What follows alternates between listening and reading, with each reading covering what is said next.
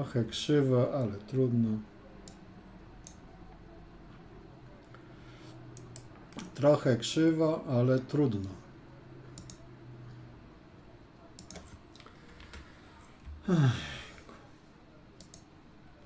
Przechodzimy do drugiego punktu, do teorii gry końcowej.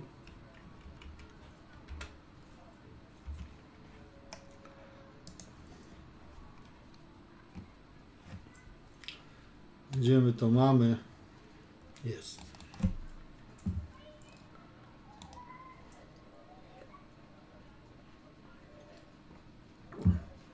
Będziemy niszczyć twierdzę i budować twierdzę.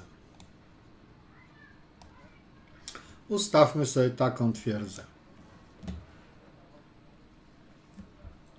Król, pion, wieża, król. Spróbujmy się przyjrzeć pozycji, czy białe mogą to przebić. Czas start.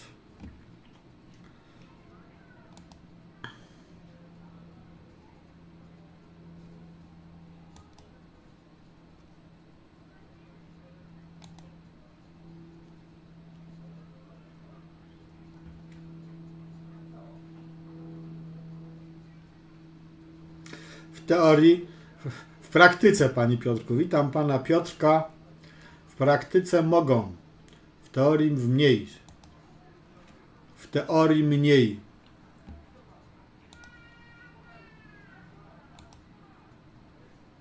W praktyce więcej.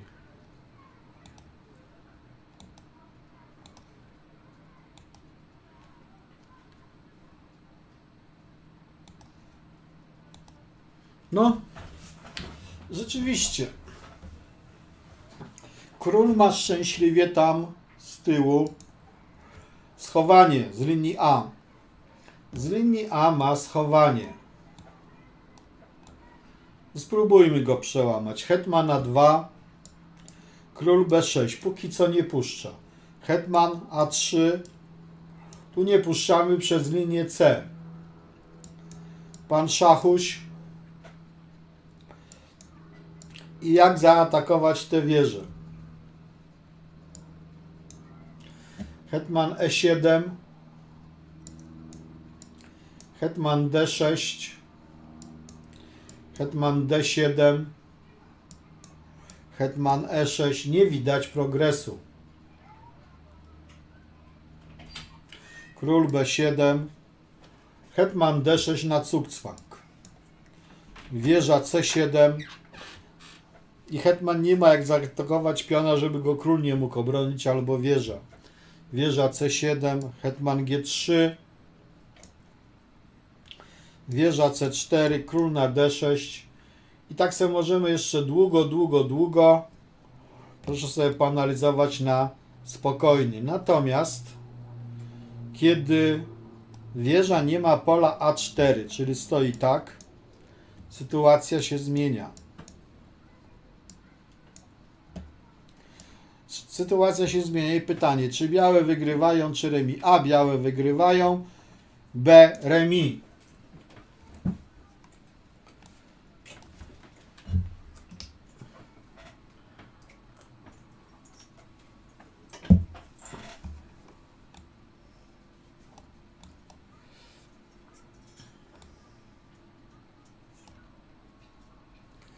A. No dobrze. A spróbujmy jakoś to wygrywać. Spróbujmy jakiś bardzo dobrze też A widzę. I przypominam, że tam jeszcze mamy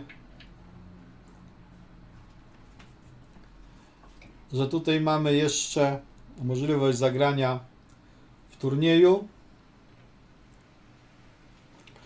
Proszę, proponujemy jakiś ruch dla białych.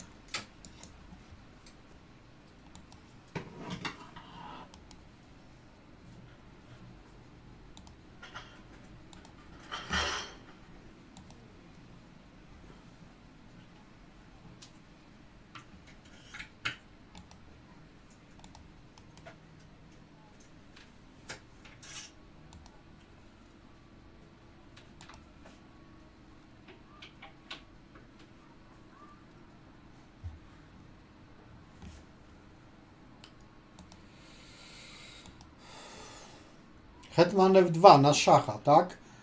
A i nie włączyłem zegara, to nie chcę wam się ruchów proponować. No myślimy, włączyłem już zegar. Czas chodzi jak należy. Bez przeciąg.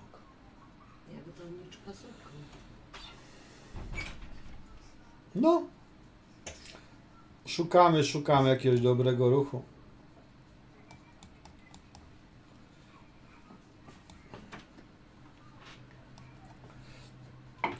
A co o centralizacji Hetmana myślicie? Czy warto Hetmana centralizować, czy nie warto?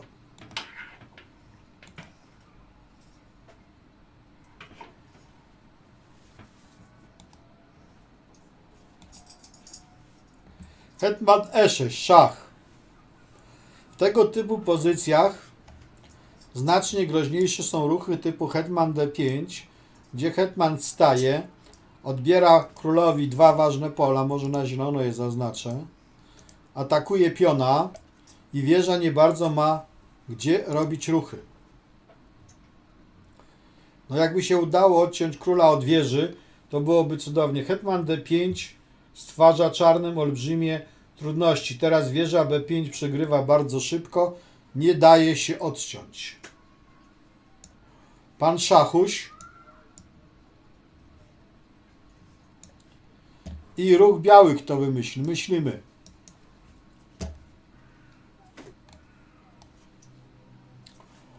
I myślimy, jak tu wymyślić ruch białych.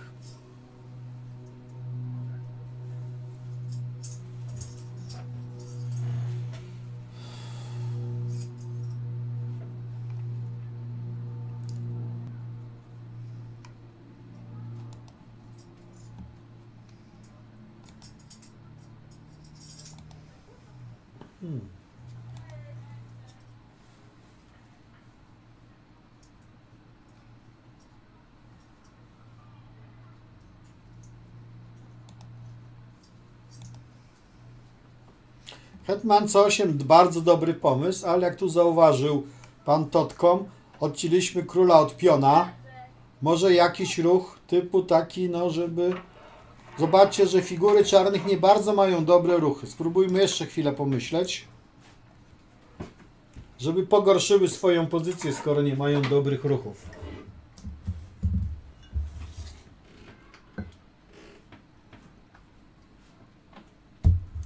Król D3 pan Tomasz proponuje. Bardzo dobrze. Zobaczcie, że po król D3 czarny ma kłopoty. Teraz muszą przepuścić białego króla. Wieża B6. Jak biały król przejdzie do piona, to mamy szansę wygrać. Pan Szachuś. Pan Szachuś. Czy można przyjść królem na B5? Nie bardzo, bo będzie pan Maciuś. Tak? Skoro będzie pan Maciuś, król C4. Król zbliżył się do piona i zaraz wstąpi na linię piątą. Jeżeli król zaatakuje piona, to ten pion jest nie do utrzymania w końcówkach tego typu hetman przeciwko wieży i pionom. Wieża B7, hetman D8, król A6, jeszcze jeden pan Szachuś. Nie można się zasłonić wieżą, bo będzie pan Maciuś. Bardzo ładny taki, epoletowy. Niespodziewany boczno-epoletowy pan Maciuś. Musi iść królem na B6. I co teraz? Ruch białych. I teraz znajdujemy jakiś sprytny ruch białych.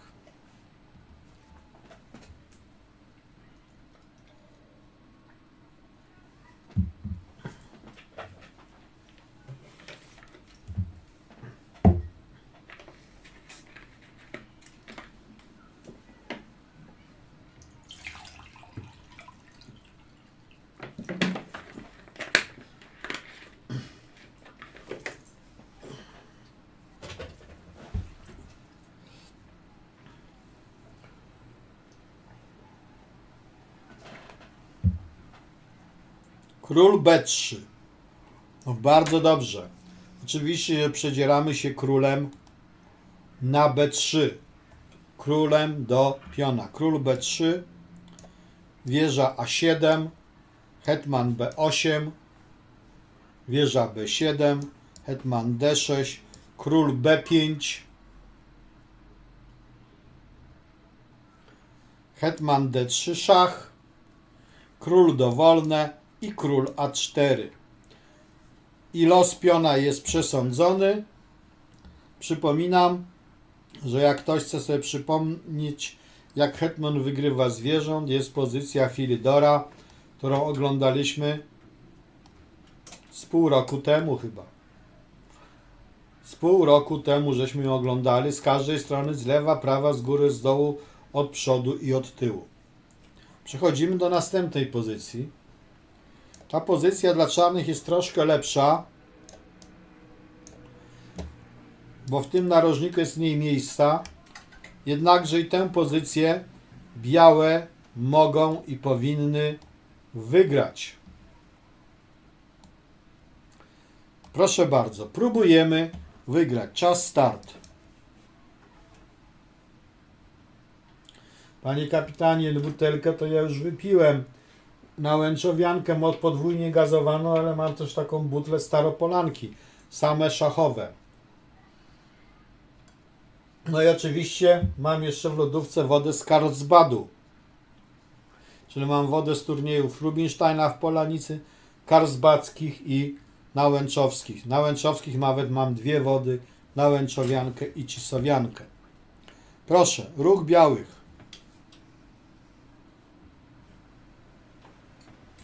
Jak to czarne na szachu?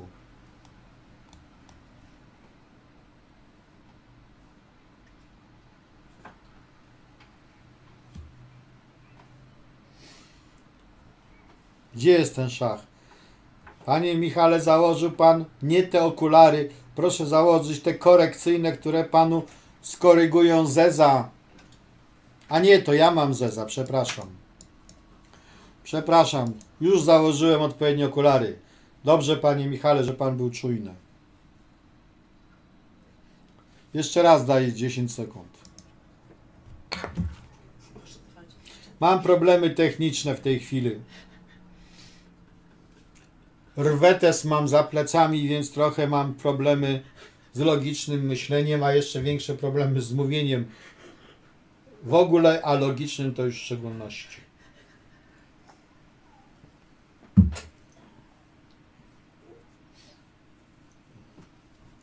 Hetman D4, to je myśl.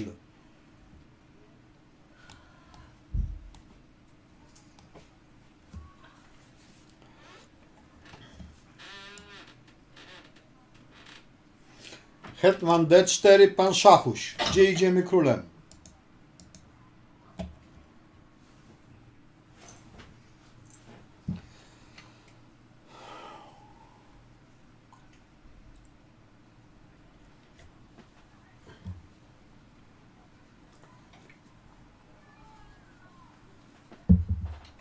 Jeszcze mi słońce daje w oczy.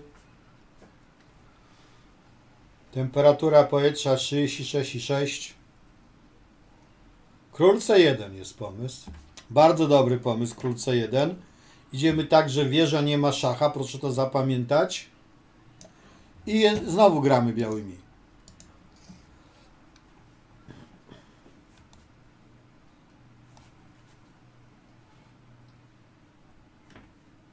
I znowu musimy zrobić jakiś ruch białymi. Chyba damy radę zrobić.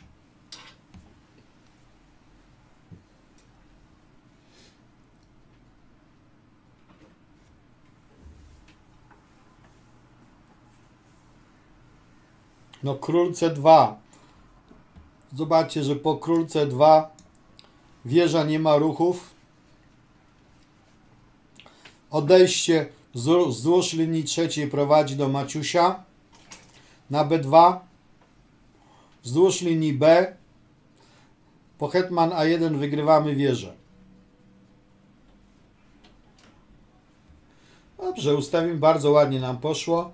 Ustawimy sobie pozycję następną. Następna pozycja jest o numer większa. Jak łatwo się domyślić ten tu, ten tam. Proszę bardzo, ruch białych.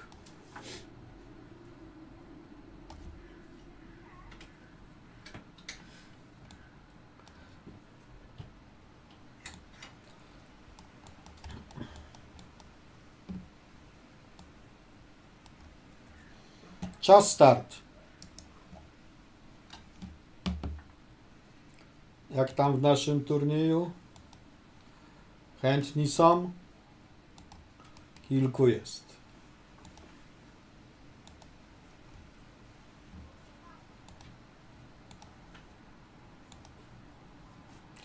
Hetman A2 notujemy, tak, Hetman A2.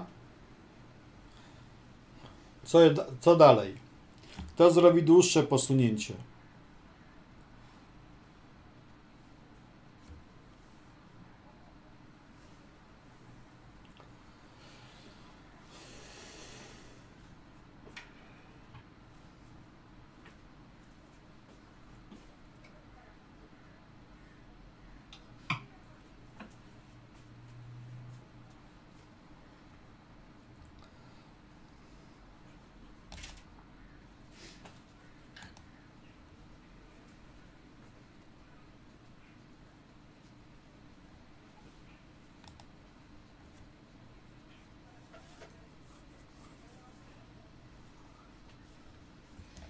Czas się skończył.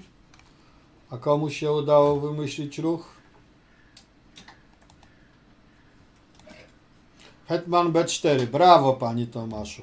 Hetman B4. Ale to, żeby było dobrze, to trzeba po król D1 znaleźć jeszcze jedno posunięcie. Ruch białych.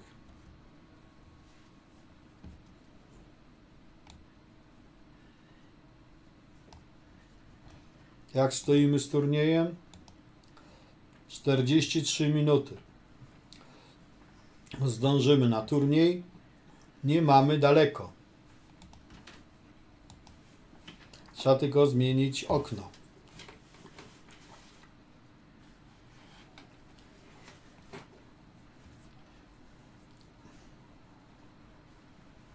Hetman B1, panie Tomaszu, nie daje progresu w tej pozycji. Tu jest nasz cel.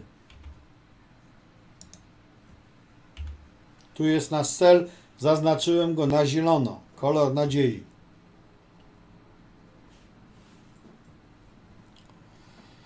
Ojejku. No daję ostatnie 10 sekund. No Hetman C3 już lepiej. Hetman C3 już lepiej. Mogę to nawet na niebiesko to Hetman C3 zaznaczyć. Tak. Hetman B1 na tak seledynowo, na morski taki kolor. A czemu nie gramy na Zugzwang? Piszemy Zugzwang. Z czytamy jak C. Zugzwang. Kasparow nawet po rosyjsku mówi Zugzwang. Znaczy po angielsku jak mówi, to to mówi Zugzwang. Bo że to czysto rosyjskie słowo, to my wiemy. Oni to piszą przez twarde C.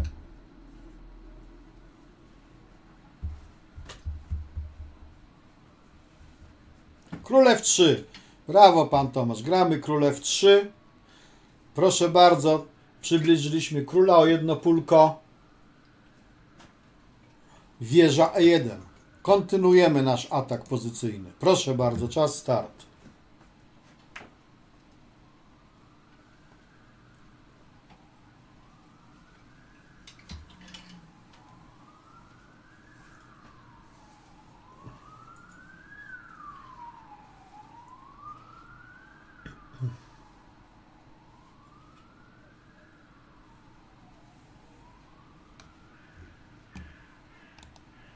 Co tam chłopaki piszą w Twitchu? W Twitchu obserwuje nas Banita. Oj, oj, oj, oj, oj. Ale ostra dyskusja na Twitchu.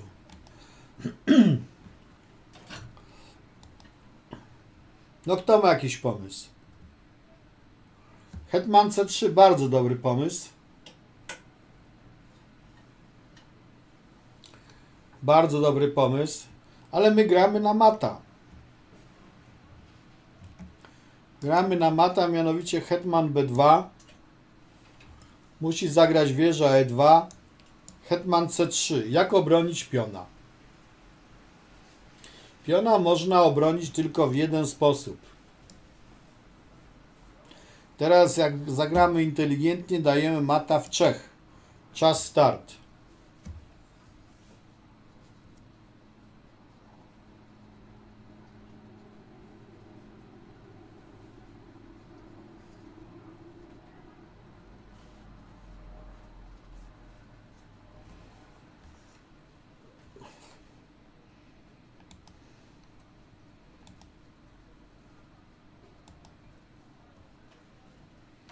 Myślimy sobie spokojnie, z nerwów.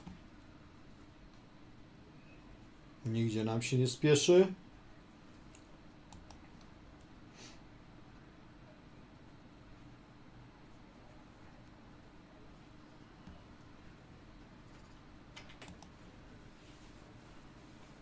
Króle 3, witam pana Damiana. Króle 3 nie jest całkiem dobre, panie Damianie. Kto widzi, dlaczego króle 3 nie jest dobre? Mogę pokazać, jak o pan Szachuś, pan Szachuś i pan Patuś. Także król E3 nie daje nam fruktów. Myślimy jeszcze chwilę. Grozi pad, bardzo dobrze, panie Tomaszu. Dokładnie te, ten pad pan widział, którego pokazałem. Hetman B3. O! Hetman B3 to już jest bliziutko. To już jest bliziutko dobrego pola. Jak to mówią, ciepło, ciepło, ciepło, ciepło.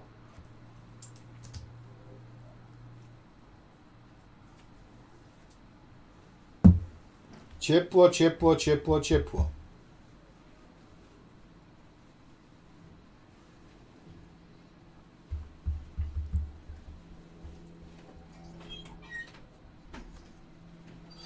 Hetman A1 zimno.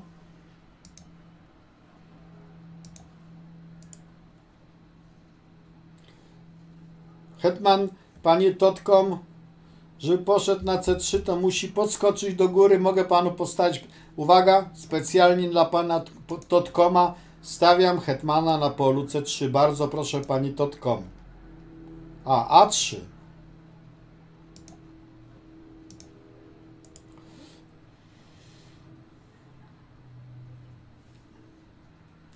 Zimniej.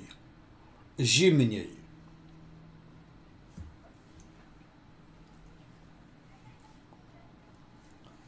Niestety zimniej.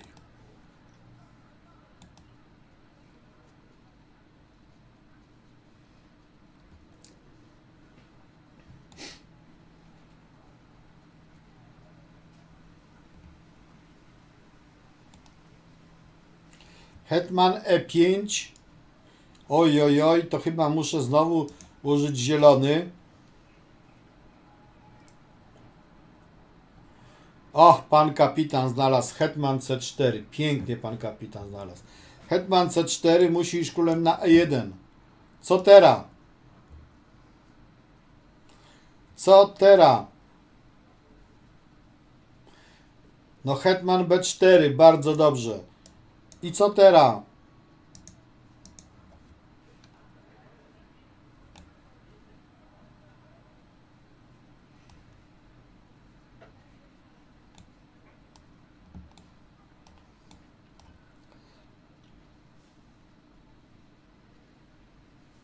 Kto gra króle 3?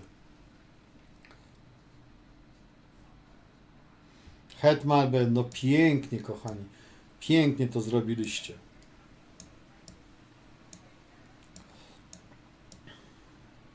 Nowa pozycja, trzeba ją wygrać. Przyglądamy się przez chwilę w ciszy, w samotności i gramy białymi.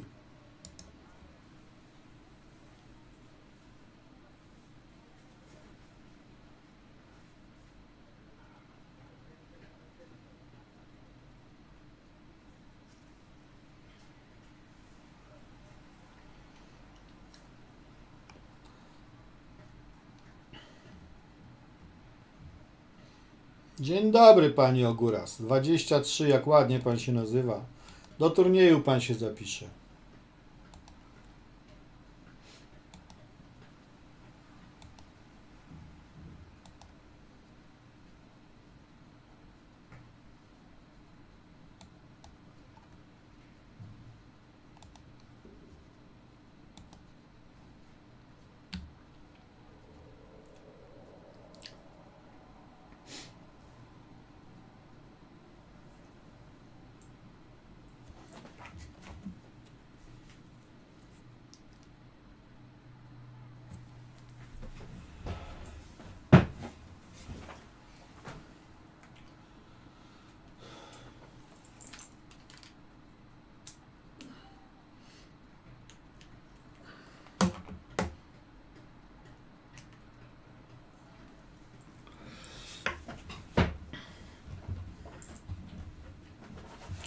Pewnie, że Hetman F4 i gonimy króla. Bardzo ładny ruch. Hetman F4.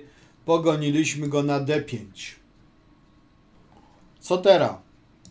Pogoniliśmy go.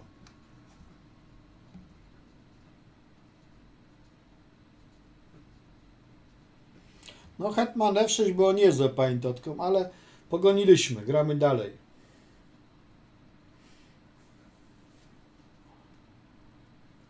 Hetman E3, no bardzo dobrze.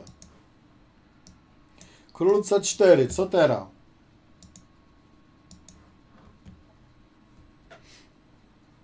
Metodycznie spychamy go.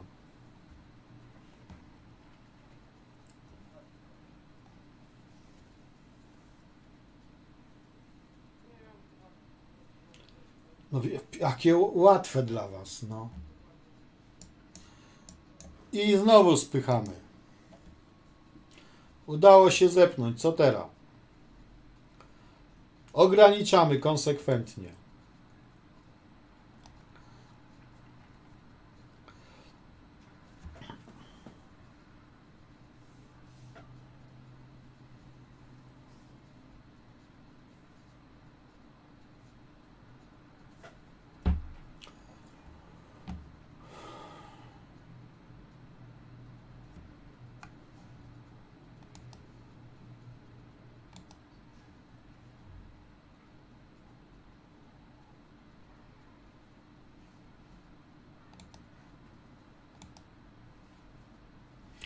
Pięknie, no hetman D5, pan szachuś, odchodzimy, odchodzimy, król D2, gramy dalej.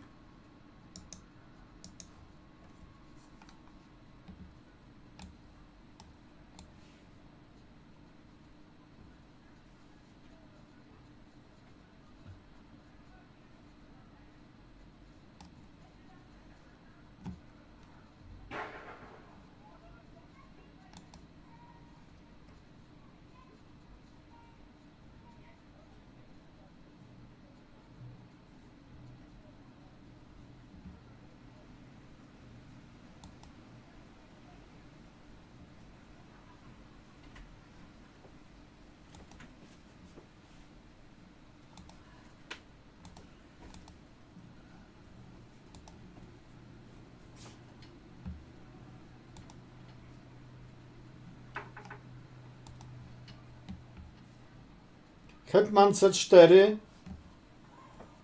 Hetman C4 bardzo dobry pomysł. Trochę dokładniejsze jest Hetman C5, bo nie puszcza króla na E3. Odbieramy pola królowi. Musiała zagrać wieża. Zagrała wieża. I choćby przyszło tysiąc atletów i każdy zjadłby tysiąc kotletów i każdy, nie wiem, jak się naprężał, to nie zgadniecie. Taki to ciężar.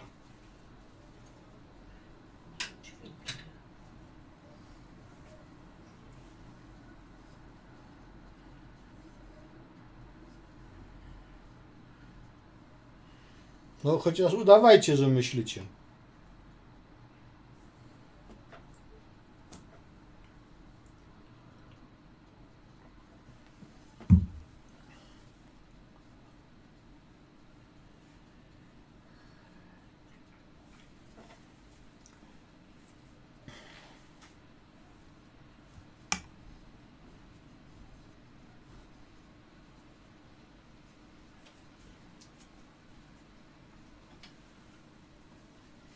Hetmana 5, tak. Dodaję wam jeszcze 10 sekund.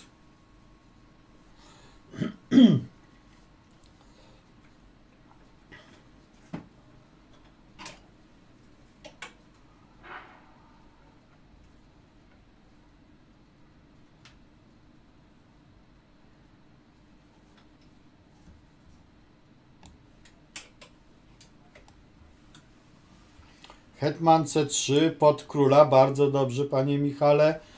Rozpłacze się pan? A nie, pisze pan, że nie. Nie rozpłacze się pan. A3. Mhm.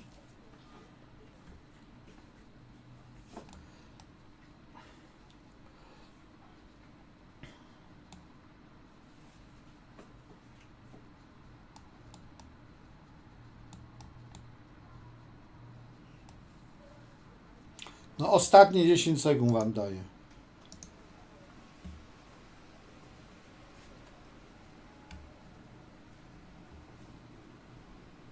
Królew 2 lepiej. Lepiej. Blisko. Ciepło. Ciepło.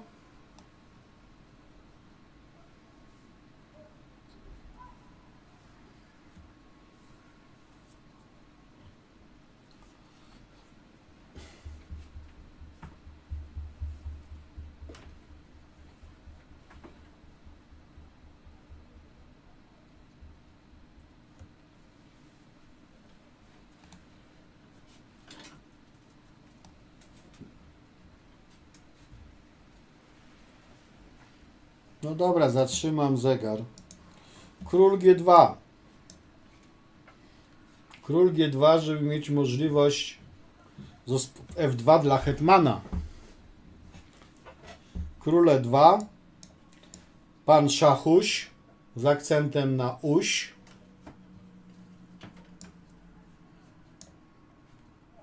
I teraz kombinujcie, póki możecie.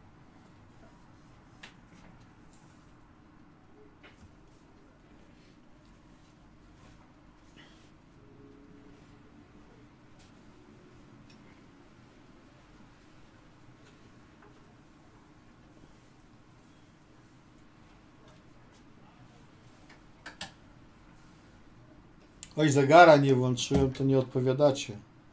Czekacie aż włączy, już naprawiłem to.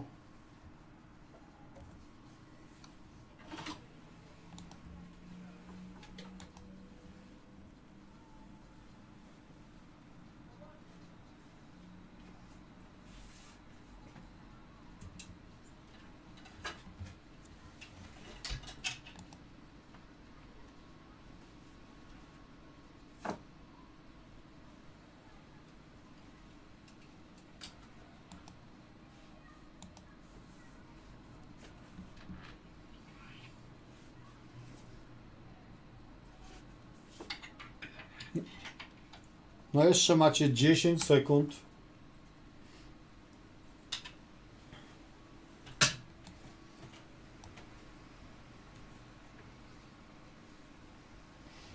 No nie będę wam dawał ostatnich. Hetman F5 na wieżę, na pioneczka. Wieża musi tak odejść, żeby obronić pioneczka. Czyli na D4 odchodzi. No i teraz przybliżamy króla. Wieża nie ma szaszka. Król D2 przegrywa.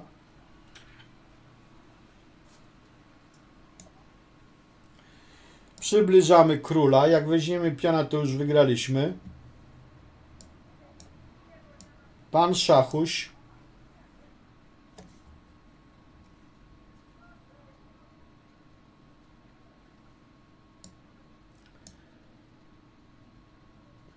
I teraz znajdźmy ruch. Ruch białych.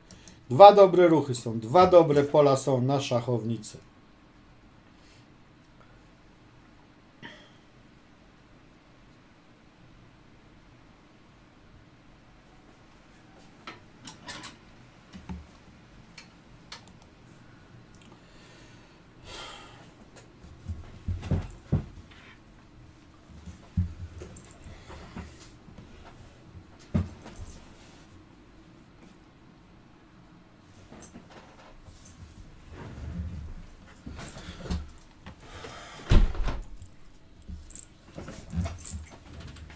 No. Kto ma jakiś pomysł?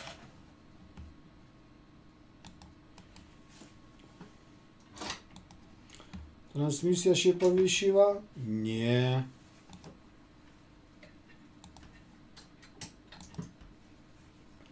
Nie powiesiła się. O, Hetman C3, ale to nie to pole. Daję Wam ostatnie 10 sekund.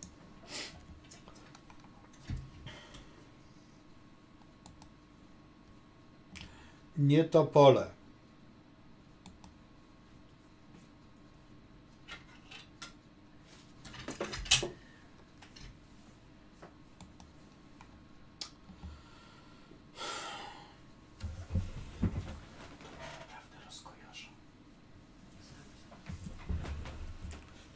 No, kto ma jakiś pomysł?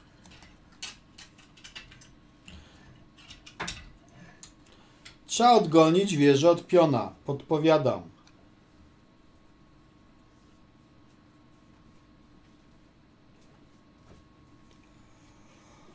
Odgonić wieżę od piona.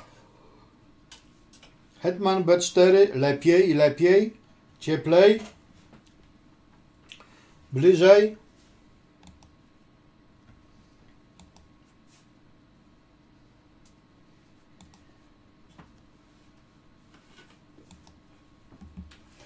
No, Hetman A5, tak. Hetman A5 i Hetman B6. Zobaczcie, że jak wieża pójdzie na białe, to jest pan szachuś, wyszachujemy ją. Hetman E7 nie. No dobrze, to nam poszło dobrze. Zrobimy sobie jeszcze jedną pozycję może. Robimy sobie jeszcze jedną pozycję.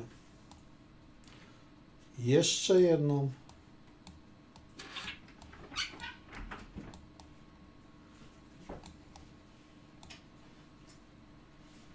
Gdzie jest ta pozycja? Nie mogę jej znaleźć.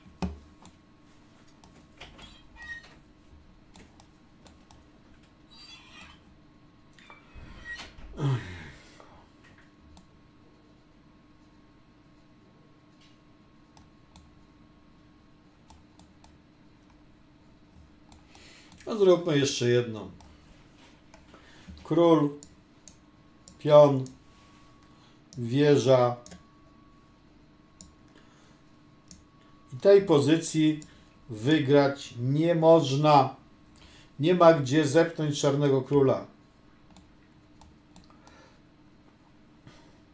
Na przykład pan Szachuś Oj, przepraszam, nie tu. Pan Szachuś. Podwiązka. Z powrotem. Hetman D3. Wieża B8. I nie ma jak ukrzywdzić.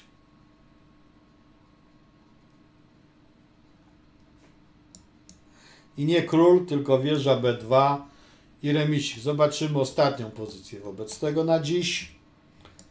Dużo pozycji poszliśmy do przodu. Tym razem wieża popycha piona. I tu wydaje się, że te trzy ruchy, które biały ma, trzy tempa na dojście piona powinny wystarczyć. Spróbujmy grać. Kto jakiś ruch zaproponuje?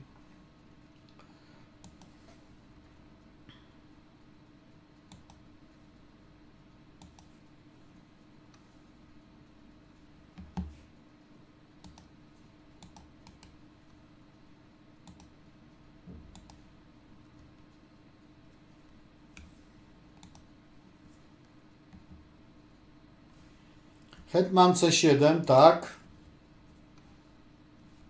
Hetman F5, bardzo ładne szaszki. Kto widzi innego?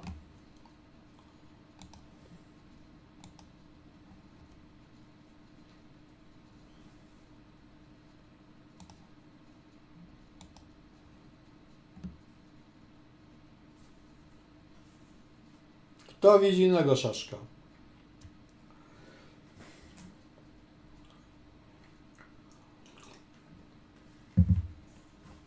Daję jeszcze 10 sekund.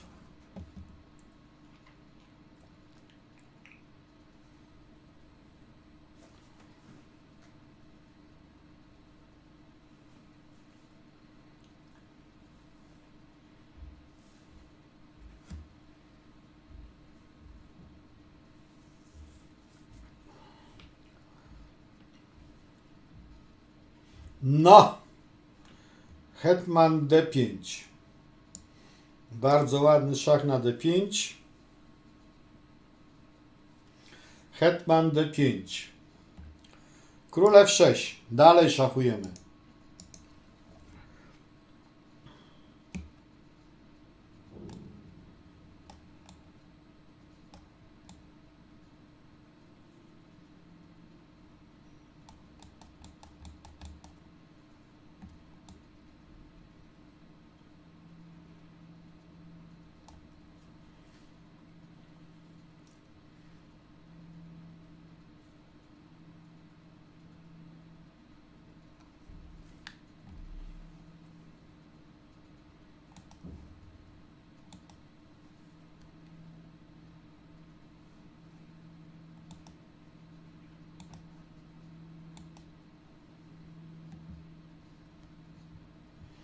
No to się bardzo cieszę.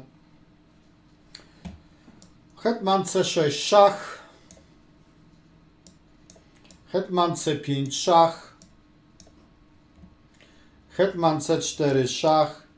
I kto teraz znajdzie ruch? Teraz znajdźcie ruch.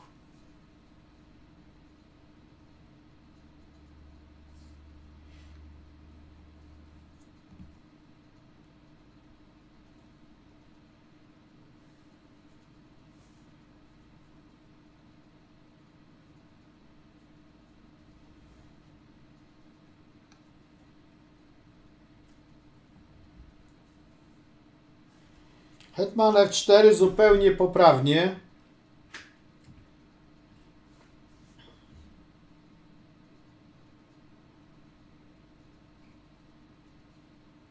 Ja mam taki ruch. I gramy dalej białymi.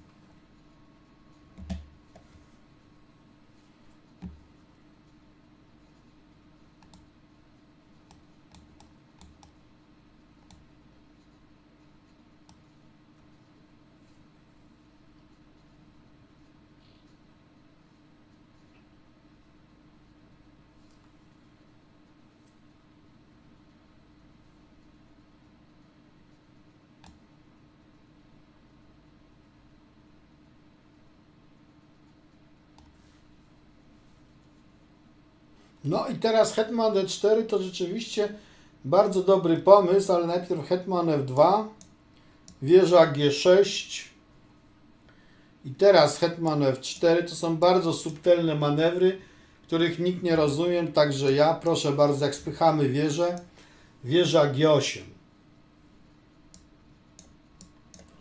król F7, Hetman D5, król F8, Hetman E6. I czarne chyba stracą pionka. I chyba czarne stracą pionka. Czy ktoś ma jakieś pytanie?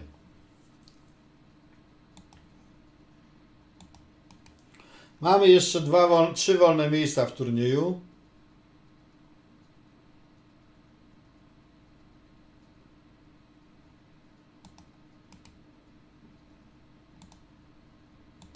Zachęcam do skorzystania.